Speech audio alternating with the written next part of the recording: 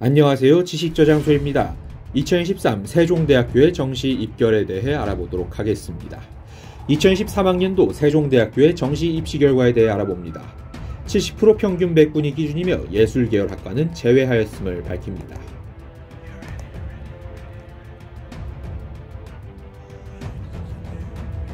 (2014학년도) 세종대학교의 정시 광업별 반영 비율입니다.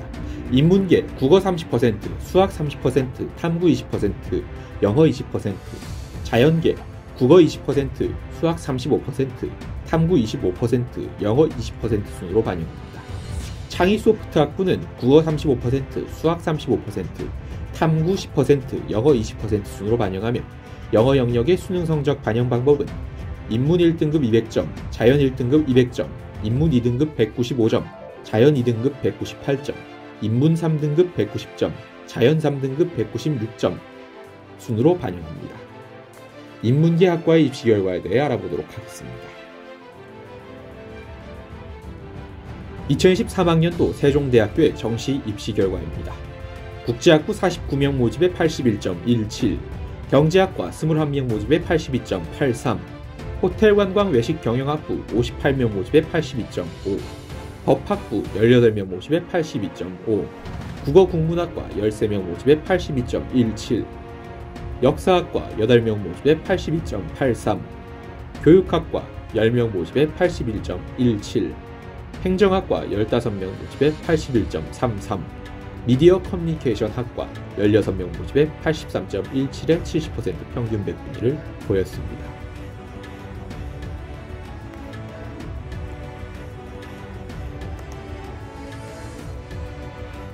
마지막으로 경영학부 61명 모집에 83.5의 평균 백분위를 보였습니다.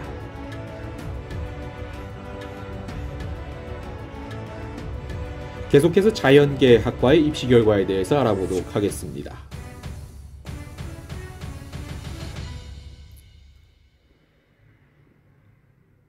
스마트 생명산업 융합학과 10명 모집에 80.33, 정보보호학과 14명 모집에 85.17, 소프트웨어학과 29명 모집에 84.5, 데이터 사이언스학과 17명 모집에 80.67, 인공지능학과 29명 모집에 81.67, 건설환경공학과 30명 모집에 79.17, 환경에너지 공간융합학과 23명 모집에 81.17, 지구자원 시스템공학과 22명 모집에 78.5, 양자 원자력 공학과 9명 모집에 82의 70% 평균 백분위를 보였습니다.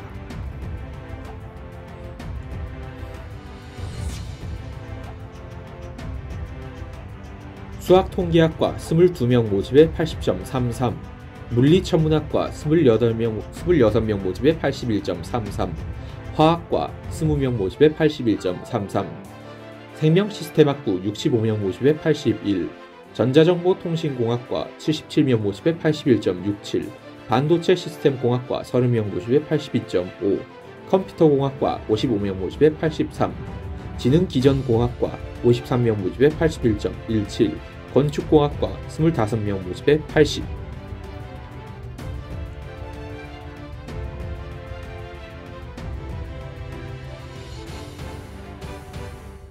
계속해서 세종대학교 정시 입시 결과 알아봅니다.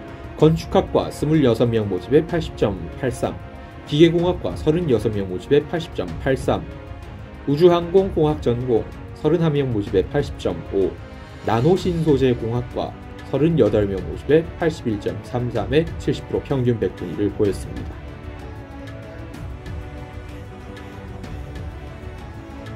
지금까지 2013학년도 세종대학교 정시 입시 결과에 대해 알아봤습니다. 영상 시청해주셔서 감사합니다. 구독과 좋아요는 저에게 큰 힘이 됩니다. 지금까지 지식 저장소였습니다.